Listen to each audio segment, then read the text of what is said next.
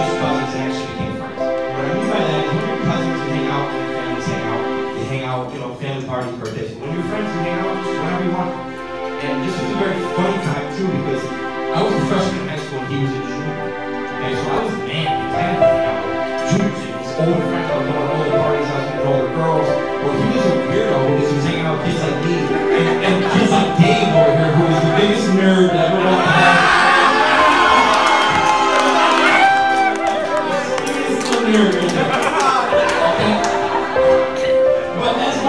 years come to a close, this one, this one came to a close with university.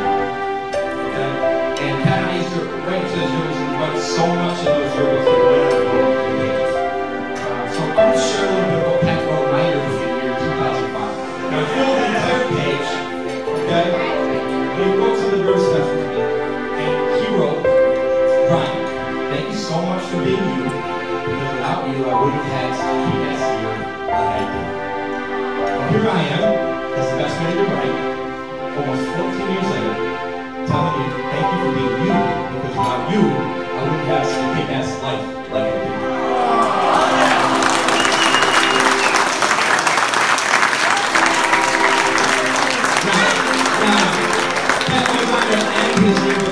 he says, and, and remember, Ryan, like I always said, which he never said this.